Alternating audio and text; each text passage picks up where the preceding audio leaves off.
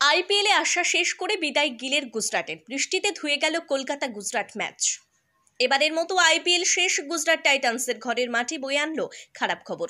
Play of থেকে ছিটকে গেলেন শুভমন গিলরা। বৃষ্টির জন্য খেলা বাতিল হয়ে যাওয়ায় আইপিএল থেকে বিদায় নিল গুজরাট। সোমবার খেলা শুরু করাই যায়নি, টসও হয়নি। আমেদাবাদের মোটেরাই এক বল না গড়ালেও নির্ধারিত হয়ে গেল শুভমনদের ভাগ্য। এদিন প্রায় তিন ঘণ্টা অপেক্ষার পর রাত দশটা পঁয়ত্রিশ মিনিট নাগাদ ম্যাচ পরিত্যক্ত ঘোষণা করা হয়, যার ফলে দুই দলের মধ্যে পয়েন্ট ভাগাভাগি হয়ে যায়। তেরো ম্যাচে উনিশ পয়েন্ট নিয়ে শীর্ষে বসে থাকল কেকেআর। অন্যদিকে সমসংখ্যক ম্যাচে এগারো পয়েন্ট সংগ্রহ করে ছিটকে গেল গুজরাট। এদিন সাড়ে আটটা নাগাদ একবার কিছুক্ষণের জন্য বৃষ্টি থেমেছিল। সুপার সপার চালানো হয়, কিন্তু ফের বৃষ্টি নামে। এদিন খেলা শুরু হওয়ার শেষ সময় ছিল দশটা ছাপান্ন মিনিট, সেক্ষেত্রে পাঁচ ওভারের ম্যাচ হতো। কিন্তু রাত দশটা পর্যন্ত ঝিরঝিরে বৃষ্টি পড়ে। দশটা দশ মিনিট নাগাদ মাঠে নামেন শুভমান গিল এবং আশিস নেহরা।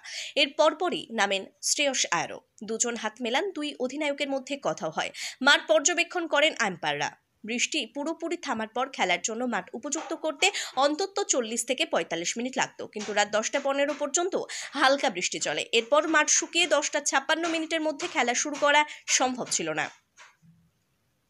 তার ওপর সামনেই টি টোয়েন্টি বিশ্বকাপ, তাই ভেজা মাঠে চোট আঘাতের ঝুঁকি নিতে চাননি দুই দলই। সেই কারণে শেষ পর্যন্ত খেলা পরিত্যক্ত ঘোষণা করা হয়।